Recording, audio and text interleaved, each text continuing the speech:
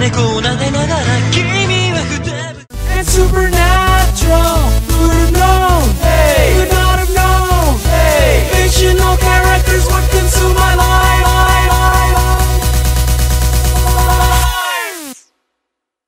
Tumblr fandom style.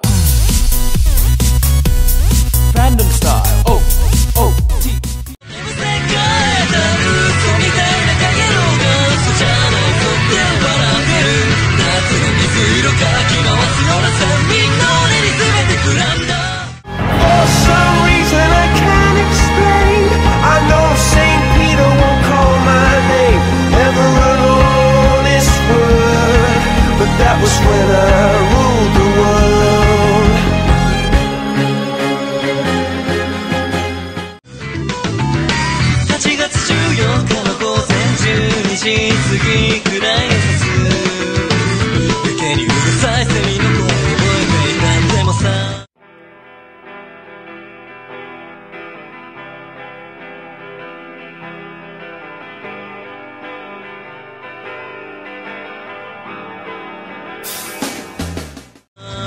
少し不思議だな。同じ公園